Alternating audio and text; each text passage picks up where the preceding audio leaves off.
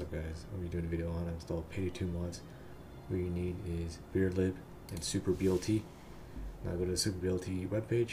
I'll have a uh, link in the description.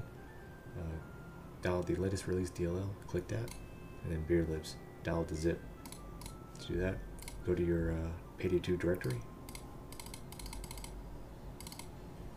Now you're not gonna have a mods folder. I already had a bunch of mods and uh, mod overrides, but you're gonna have a clean folder. What you need to do is grab the WSOCK, which is the super BLT. Copy this, and then go back to your directory and paste it in here. Then you're gonna, uh, and then after that, you're gonna boot up the game once, and you're gonna get this. It's gonna say uh, BLT mod slash base folder missing. Do you want to download the? Click yes. It will pop up a console. It will download the mods folder with all the files needed. And once you do that, you should have a mods folder. Now, if you have no mods folder, you can just make one folder, new folder, mods. Simple as that. And now this is where all your mods is going to be, except mod overrides. What we're going to do is go to Assets, and you're going to make a new folder called Mod Overrides. Now, this folder is going to contain stuff like uh, texture files and um, not HUDs, but um, yeah, anything that replaces um, the text of the game and like old models of guns and uh, you know skins and stuff. You're gonna put everything in.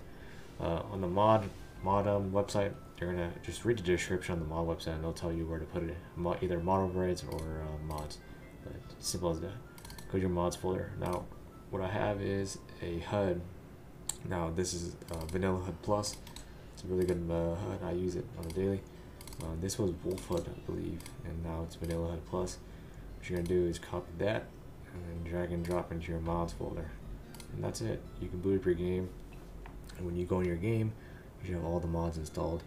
Um, yeah, I'm gonna have a link to a lot of my mods I use, but this is the main website. It's uh, modworkshop.net. It has a bunch of mods for a lot of the payday games. But yeah, you go here and yeah, there's hundreds of mods. It should, should tell you right here. Yeah, a lot of mods. They have you know uh, custom sounds, mask, uh, weapon camos, and all that. Uh, glove textures. Uh, yeah, this is where you get all your mods on. So yeah, uh, that's about it.